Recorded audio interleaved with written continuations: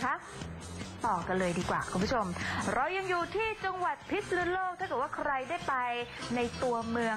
ริมถนนพุทธบูชาค่ะคุณผู้ชมก็จะมีชาวจังหวัดพิษณุโลก ส่วนใหญ่เป็นผู้สูงอายุนะคะ นับร้อยร้อยคนเลยนะคะ ที่เขายึดอาชีพนวดแผนโบราณ เพื่อนำรายได้ตรงนี้มาเลี้ยงดูครอบครัวนานนับสิบปีไปดูกันเลยค่ะ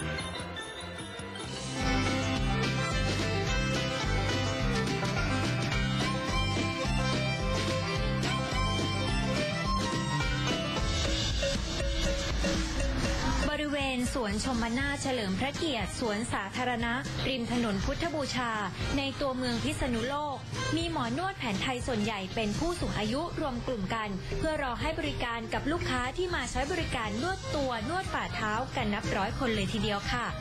หมอนวดแผนไทยหลายคนตั้งหน้าตั้งตานวดคลายเส้น คลายปวดเมื่อยให้กับลูกค้า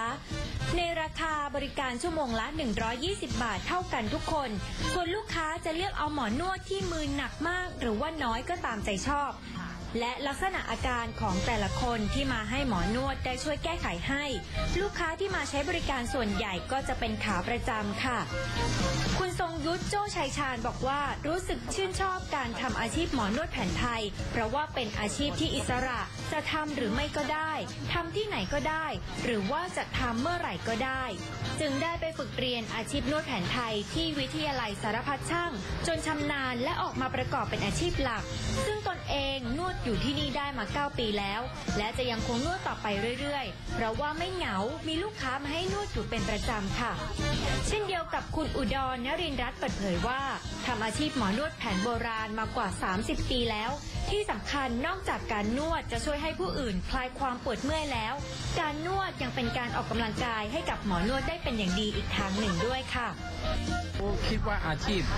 นวดเนี่ยมันเป็นยังไง ก็ดีนะคะ ก็ก็เลี้ยงตัวเองได้อะไม่ต้องพึ่งใครไงไม่ต้องเป็นภาระของใครใช่ไหมก็ดูแลตัวเองได้ แล้วมันก็เป็นอะไรที่มันแข็งแรงแบบเหมือนออกกำลังกายทุกวันอะเราได้ออกกำลังกายด้วยใช่แล้วก็นวดเนี่ยออกกำลังกายนะ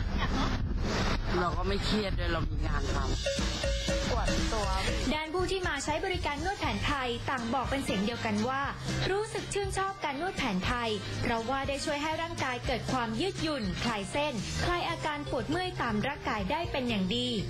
สำหรับผู้ที่ต้องการมาใช้บริการหมอนวดแผนไทย ที่บริเวณสวนชมนาเฉลิมพระเกียรติ สามารถมาใช้บริการกันได้ทุกวัน ไม่เว้นวันหยุดราชการนะคะ ตั้งแต่เวลา 11 โมง จนถึงค่ำของทุกวัน ในช่วงวันหยุด วันเสาร์อาทิตย์จะมีผู้ใช้บริการหนาแน่นก็ควรหลีกเลี่ยงนะคะ ไปวันธรรมดาจะสะดวกกว่าค่ะ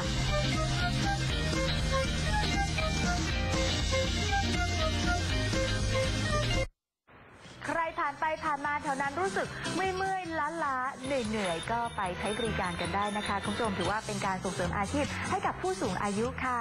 ของดี